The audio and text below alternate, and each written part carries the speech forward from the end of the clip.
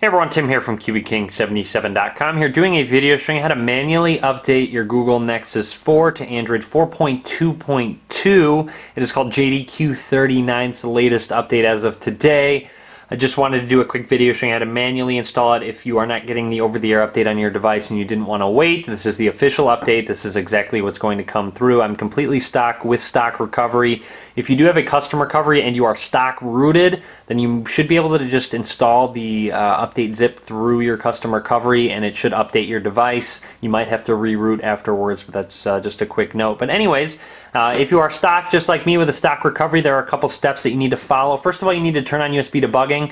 So go ahead and go into settings, scroll down, go to about phone, and as I said, you do uh, you will need to be on JOP 40D right there. That that's what your build number needs to say. Android 4.2.1. Quickly tap on build number seven times until it says you are already a you are a developer, and then you will see developer options right there. Select it, turn them on, and make sure USB debugging is checked.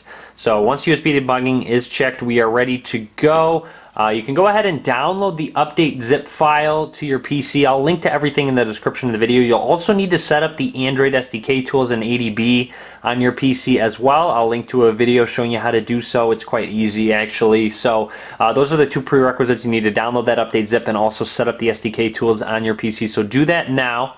Alright, and once you are done setting up the SDK tools in ADB and you have that update zip downloaded, it should look like this. It should say DE8, the first three letters and numbers, and a bunch of them right there. I recommend right clicking and hitting copy. You can hit cut if you'd like to. You don't need it in that downloads folder. You can go back and delete it if you'd like to. But I'm just going to go ahead and copy that update zip. Go ahead and go to my C drive and you'll see that SD, Android SDK folder there. Double click on it go ahead and go in your platform tools folder and then just paste that update zip into uh, that platform tools folder. So you'll see it right down there. Once you have it pasted, go ahead and highlight the file name, right click and copy the file name. So go ahead and just copy this file name to your clipboard there. Once you have the file name copied to your clipboard, go ahead and hold the shift key on your keyboard and right click. Here, let me go ahead and see, get it so you guys can see. So go ahead and hold the shift key and right click over somewhere that's not on a file name and hit open command window here. So go ahead and type that in and then what what's going to happen is a command prompt is going to open it on up. So it'll look like this. Now what you need to do is go ahead and grab your Nexus 4 uh, which does have USB debugging on, and plug it into your PC. So plug it on in. If for any reason at all you are having issues with PC not recognizing your device, I highly recommend installing PDA-Net on your PC. I will link to PDA-Net in the description of the video. Um, make sure you just unplug your device, install PDA-Net on your PC, and then try this these steps once more.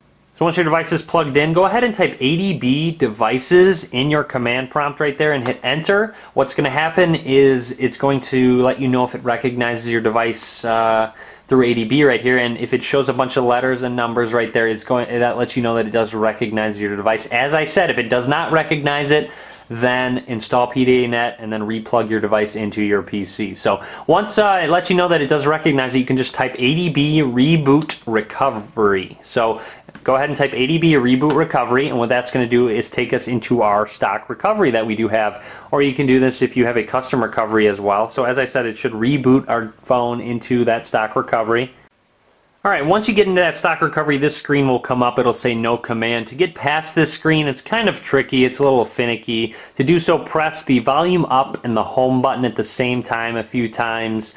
Um, it's it's kind of tricky because you sometimes accidentally press the power button too many times and you hit reboot system now. But just kind of do that until you get into the stock recovery. It's going to look just like this. You'll see Android system recovery. It's actually quite easy now. Uh, use volume up and down to navigate and press volume down once until you see apply update from ADB and then press the power button to select it. And then what it's going to do is say, oh, I'm waiting for this file, now send it on over. So now what we can do is go back to our command prompt here and once we are at our command prompt, it's actually quite easy. All you have to do is type ADB space side load, all with one word, and then go ahead and put space, and then right click at the top of your command prompt and highlight edit, and then hit paste. What it's going to do is paste that file name that we copied to our clipboard a little bit earlier. If it already says .zip at the end of it, then don't do this, but add .zip at the end of it if it does not. Make sure it doesn't say .zip .zip, only one .zip at the end, so add that. that that step is needed to just recognize uh, the file itself. So now we are ready to go. It says now send the file over.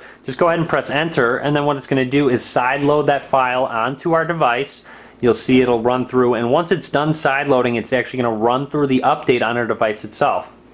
Alright, once it's done it says installing system update. It's going to verify everything. You'll see a little progress bar right there.